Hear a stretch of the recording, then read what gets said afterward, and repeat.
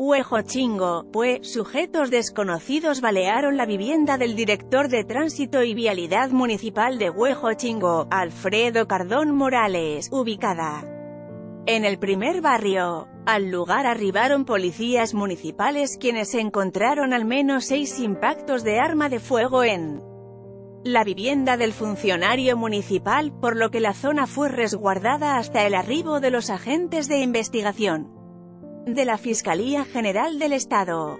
Afortunadamente, no se reportaron personas lesionadas. Hasta el momento no se ha emitido un comunicado oficial del Ayuntamiento de Huejo Chingo sobre estos hechos. Local